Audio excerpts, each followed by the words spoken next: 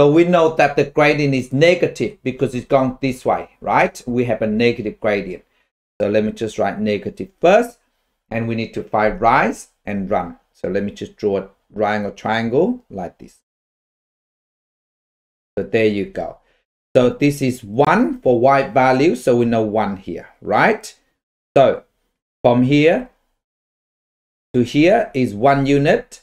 From here to here is 5 units because it's negative 5 to 0 is 5.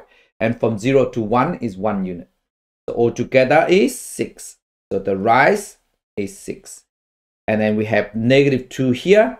So therefore the run is 2 units. Let me just write underneath here.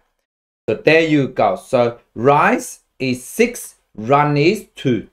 So that is 6 over 2. Rise over run. So 6 over 2 is 3. So the answer is negative 3. And y-intercept is negative 5. So therefore the equation is y is mx plus c. And m is negative 3. So negative 3 times x is negative 3x. So y is negative 3x and plus c. c is negative 5, so which is minus 5. So there you go.